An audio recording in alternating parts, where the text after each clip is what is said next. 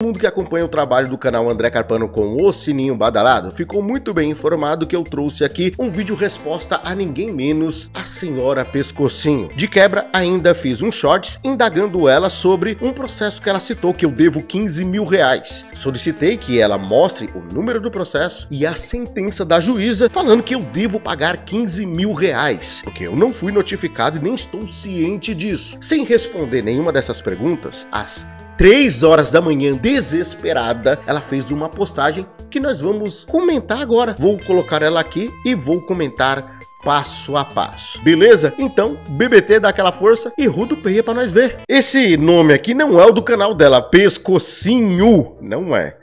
E esse avatar também não. Inclusive, sobre esse apelido e esse avatar, não foi criação do André Carpano. É um apelido que ela tem na internet. Então eu não posso ser responsabilizado por esse apelido que ela tem. E vamos lá. Olha só o que ela comentou. Vagabundo, não sabe trabalhar, nem sabe o que significa trabalho. Opa, peraí. Como que é o negócio aí, senhora Pescocinho? Não, eu preciso fazer uma refutagem mais a fundo. Para isso daqui, eu vim trazer o quê? Nada menos as minhas duas duas carteiras de trabalho. Bom, essa primeira CLT aqui que vocês estão vendo, eu ó, sem corte, é, eu vou só privar os meus dados aqui, todo mundo vê que, opa, aqui é a minha foto na CLT e está aqui, ó, segunda via.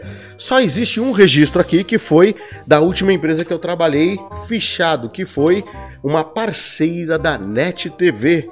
É, que é, hoje é claro, né, no caso, né, mudou o nome. É, e foi o, o registro que eu tive por lá, só tem esse registro aqui, nessa carteira. Porém, essa outra carteira aqui que tá com é, essa capa aqui, que era da empresa terceira que eu trabalhei, eu vou deixar ela aqui para ninguém dizer que eu estou pegando outra aqui e forjando nada. Vamos lá para o começo, vou só é, é, esconder aqui os meus dados e vou mostrar que realmente sou eu. Olha aqui, ó. Minha foto, eu novinho aqui, né? É diferente pra caramba, né? Ó, mas vocês verem que é, é. Opa! Sou eu aqui. Vocês estão vendo? Ó, é o André Carpano aqui. Bom, tô com ela aqui ainda na mão, para ninguém dizer sem corte que eu falsifiquei. Mas vamos lá, só mudar aqui para não pegar os meus dados. Olha aqui, ó.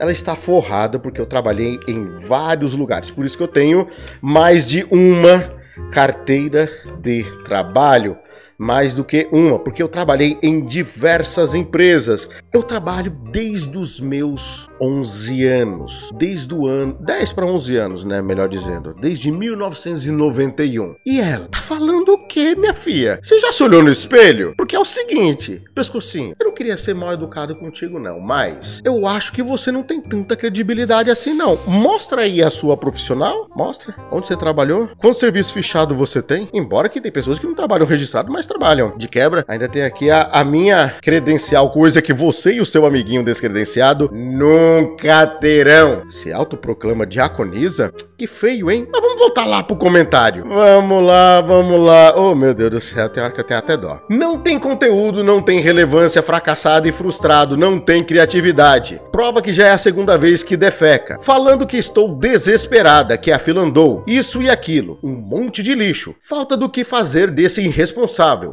não sei onde tá o desespero porque não me deixe, não me deixe em paz. Cadê o desespero? Ah, sinal disso. Eu tô gravando esse vídeo aqui meio-dia. Já vai dar uma hora praticamente aqui. E esse vídeo tem oito horas, ou seja, mais ou menos duas para três horas da manhã. Você estava fazendo esse comentário. Quer prova do desespero maior do que esse? Três horas da manhã na internet. Ah!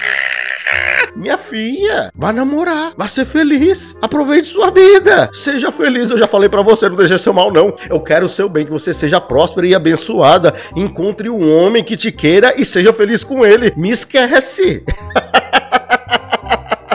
Ah, continuando, porque nem dele faço. Agora se eu ponho conteúdo de terceiros, fala sobre narcisista e que ele acha que é para ele e se incomoda. É porque sabe que ele é esse lixo de criatura. Opa, isso daqui já cabe um processo para ti, viu? Tudo que falam se encaixa com essa criatura diabólica que é ele. Outro processo. Diabólico, lixo, é, isso daí dá processo, viu? Porque é mimado e foi negligenciado, anulado, rejeitado. Aí vem para as redes sociais atrás de, so de atenção, validação e suprimento narcisístico. Existe essa palavra? Não sei, mas vamos lá. Porque os pais foram irresponsáveis e não ensinaram valores, princípios e moral. E não quebrou os dentes quando precisou. Não soube falar não e agora vive atormentando a vida alheia. A fila andou. Olha só, é, é, é, deixa eu falar uma coisa aqui, senhora Pescocinho. Preste bem atenção. O dia que eu conversei com a senhora, sua mãe, senhora, eu tenho muito respeito por ela, é, ela me falou que eh, você não para três meses em um serviço.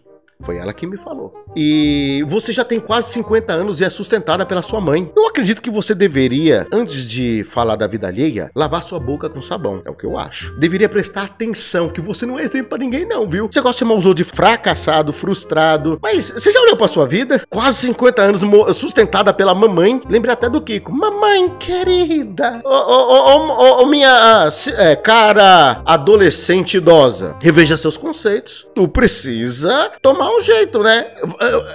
Daqui a pouco completa 50 anos e, e a mamãe tem que fazer aviãozinho dar comida na sua boca. Hum, você. Hum, é, é, é, o que tá aparecendo. É isso mesmo. Olha, parece que fica assim, ó. Você é assim, ó. Aí sua mãe chega um aviãozinho, a colher de aviãozinho.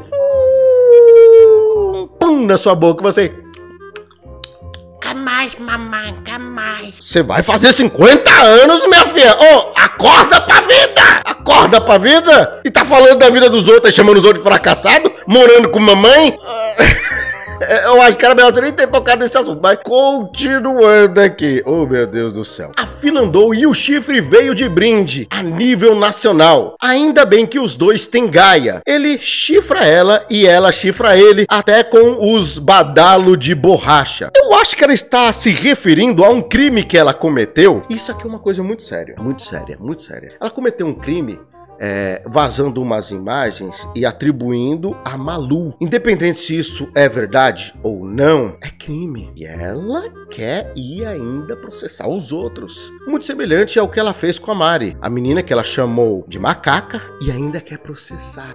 ela tem esse hábito, esse modus operandi. Mas deixa eu te falar uma coisa aqui, pescocinho. Com esse seu crime, a coisa pode ficar feia pro seu lado. Pode não, vai ficar feia pro seu lado. Já tem o, o, o crime de intolerância é, racismo que você fez com a menina chamando ela de macaca. E isso daí, quem vai julgar se é válido ou não é a justiça, porque você fez o comentário e colocou a foto dela. E você apagou, mas o banco de dados da internet não apaga nunca, minha filha. Você pode apagar o quanto você quiser. O pessoal da delegacia, né, de crimes cibernéticos, eles conseguem averiguar tudo isso. Tanto conversa que você já pagou, ou eu, ou qualquer outra pessoa apagou do WhatsApp, se eles solicitarem, eles vão ter. Lembra do caso Florelis, que resgataram as imagens do que foi apagado, estava na nuvem? Então, eu acho que é bom você rever os seus conceitos. Agora, sobre a Malu, eu nunca vi ela pessoalmente. Eu tenho muito respeito pela Malu, converso com ela e eu não entendo esse seu desespero. Nunca tive nada. E se eu tivesse algum dia tido algum relacionamento com ela, você não tem nada a ver com a minha vida. Eu quero que você prove que eu tive alguma coisa com a Malu. Porque uma hora você fala que ela foi minha amante, depois fala que eu fui amante dela. Eu não sou casado, como que eu vou ter amante? Isso é uma calúnia, uma injúria, uma difamação e você abre precedentes para ser processado em muitas coisas. Mas você gosta de fazer isso porque está mal acostumada com a impunidade. Só que o crime do racismo, isso é inafiançável e você vai para a cadeia por causa disso. Escuta o que eu estou falando. Inclusive você morre de medo de falar desse processo, né? Morre, né? Mudou, até apagou a postagem, apagou o vídeo. Você fez uma live falando sobre o ato que você cometeu, sumiu a live. Só que a cópia já tá na mão da justiça. Bom, vamos aguardar essa daí. Vamos continuar aqui. Prosseguindo aceita ser corno, né? Porque ele não me esquece. Porque também no fundo ela sabe que só é um objeto e que quando ele enjoar, já começou porque ele já falou que não gosta de velha. Ele vai largar e ela vai chorar de novo.